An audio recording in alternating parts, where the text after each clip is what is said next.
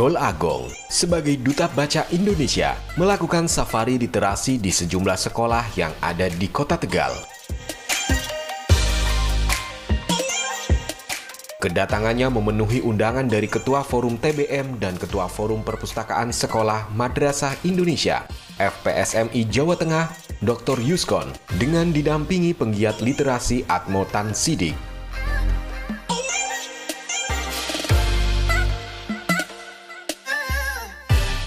Safari Literasi mengunjungi SDIT Usamah Kota Tegal, SMP Negeri 7, SMP Negeri 6, dan SMP Negeri 2 Kota Tegal. Pada safari tersebut, Golagong memberikan motivasi kepada para peserta didik untuk berkarya dalam tulisan, mengajak gemar membaca, sekaligus memberikan pembelajaran membuat karya tulisan maupun puisi.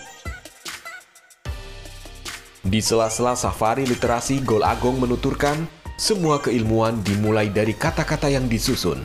Karena itulah pentingnya membaca. Sebab menurut Golagong, kesuksesan seseorang dimulai dari kegemarannya membaca.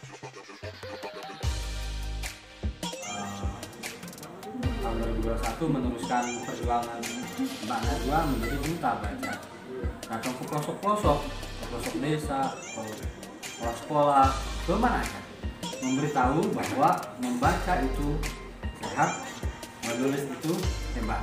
Semua dimulai ketika kata-kata disusun. Itu. Jadi kalau kamu tidak membaca, mau pakai handphone, mau pakai kamera, semua dimulai ketika kata-kata disusun. Semua jenis ilmu, mau jadi dokter, mau jadi insinyur, mau melamar pasangan hidup, mau nembak cewek, semua dimulai ketika kata-kata disusun. Bener nggak?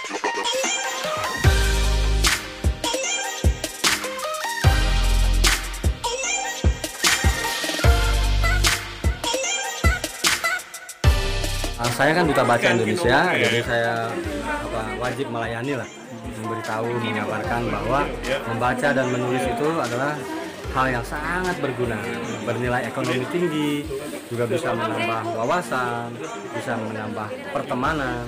Nah, hal itu harus saya lakukan ke sekolah-sekolah, ke kampung-kampung. Nah, sekarang bekerja sama dengan Forum Taman Bacaan Masyarakat dan Forum Mekarpena di Kota Tegal. Penekanan apa Pak yang disampaikan untuk anak-anak atau peserta didik ini? Ya, uh, di literasi digital ini, uh, terutama internet ya, media sosial, sering disalahgunakan oleh anak-anak kita. Jadi mereka memang harus diarahkan bahwa uh, teknologi itu diciptakan oleh orang-orang pintar yang membaca buku, TikTok, Twitter, uh, Facebook, YouTube, apalagi uh, apa website gitu ya. Pokoknya sekarang apalagi dengan metaverse gini. Jadi itu sebetulnya bernilai ekonomi tinggi. Itu sudah dicontohkan oleh Atta Halilintar oleh Deddy Kobuser dan sebagainya. Nah maka kita jangan konsum apa jangan konsumen saja nah sekolah-sekolah ini punya kesempatan untuk memfasilitasi uh, kesempatan itu. Misalnya podcast anak-anak dilatih untuk jadi jurnalis-jurnalis. Nah sudah tidak relevan lagi sekarang uh, majalah dinding karena anak-anak mengakses uh, apa internet. Maka pustakawan kepala sekolah dan kesiswaan sudah harus beradaptasi dengan kegiatan-kegiatan literasi digital. Jadi perpustakaan ini harus ada wifi katanya ada ya di wifi ya? Udah ada ya? Harus ada podcast. Jadi ciptakan jurnalis-jurnalis sekolah. Dulu saya waktu sekolah jadi wartawan majalah dinding misalnya. Nah sekarang wartawan podcast video jurnalis datang ke dengan handphone disebar misalnya uh, bahasa Indonesia misalnya gurunya. Coba kamu uh, punya YouTube sekolah ini misalnya. Kamu harus ngisi ada liputan ada peristiwa menarik di alun-alun kota Tegal misalnya. Datang ke sana dikirim osisnya atau uh, redaksi dari YouTube tadi nah ini sekali lagi literasi digital sebetulnya sangat relevan dengan generasi Z generasi Alpha terutama perpustakaan nasional Republik Indonesia sudah bertransformasi jadi perpusnas sendiri eh, lewat saya sebagai duta baca itu menginformasikan kepada masyarakat luas bahwa sekarang kita masuk ke era digital. Di mana-mana sekarang era digital. Tidak bisa kita tolak anak-anak sekarang membaca bukunya e-library atau e-book. Nah, tinggal sekarang kitanya generasi uh, guru-gurunya atau orang tuanya yang harus di-upgrade itu kita, orang tuanya. Anak-anaknya secara alamiah itu sudah menguasai digital. Hanya tinggal bagaimana pembelajaran ini merdeka belajar ini ya. Bagaimana merdeka belajar ini diintegrasikan dengan literasi digital. Ada enam literasi dasar tadi yang harus dikuasai oleh guru-gurunya. Kenapa ada literasi keuangan? Kenapa ada literasi baca tulis? Kenapa ada literasi numerasi? Kenapa ada literasi sains? Kenapa ada literasi budaya dan keluargaan? Kenapa ada literasi satu lagi apa ya? Uh, finansial sudah ya. Uh, literasi baca tulis tadi. Jadi ada enam literasi dasar itu yang harus dikuasai oleh guru-guru terutama. Itu sehingga murid-murid mempraktikannya. Pak ini terakhir berkaitan dengan bulan bahasa apa yang disampaikan kepada masyarakat dan pegiat literasi Pak? Ya, dalam bulan bahasa ini ini kalau politik bahasa bahwa bulan bahasa itu tidak bisa lepas dari 28 Oktober kan kami putra putri Indonesia gitu ya. Hmm. Nah jadi bulan bahasa ini ada Trigatra bangun bahasa. Satu uh, puas uh, uh, sorry utamakan. utamakan bahasa Indonesia kuasai bahasa asing lestarikan bahasa daerah. Ini tiga hal ini. Jadi boleh kuasai bahasa asing tapi utamakan bahasa Indonesia. Dan lestarikan bahasa daerah. Itu bulan bahasa. Tri bangun tri gatra bangun bahasa. Hari literasi memang saya tiap tahun mengundang beliau.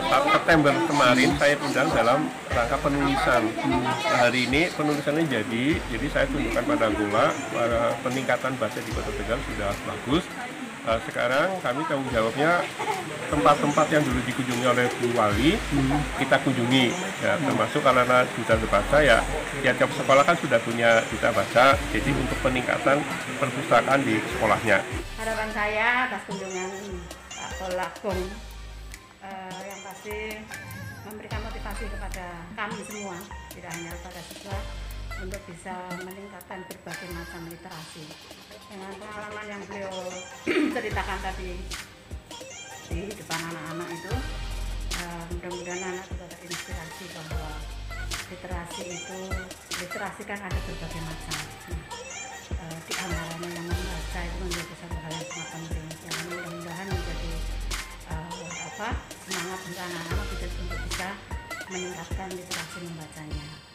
Dan juga dengan kunjungan beliau ini mudah-mudahan juga uh, bisa meningkatkan uh, apa perpustakaan kita yang mungkin membutuhkan apa ya uh, membutuhkan apa namanya masukan-masukan. Sehingga uh, bisa membuat uh, perpustakaan SMP 2 ini bisa menjadi lebih baik. Dan juga tadi ada uh, literasi digital ya jadi atau perpustakaan digital itu juga. Ini kita juga akan mengarah ke sana. Hmm. karena memang uh, saya utamanya begitu masuk di sini kan uh, perpustakaannya uh, waktu itu memang belum belum berjalan. Sehingga memang benar-benar dari nol.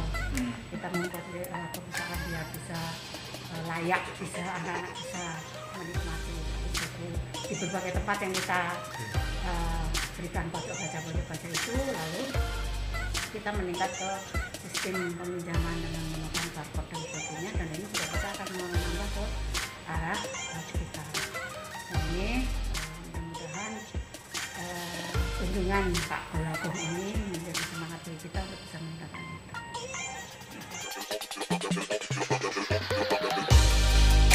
Safari literasi ditandai dengan penandatanganan pengembangan perpustakaan sekolah dan literasi.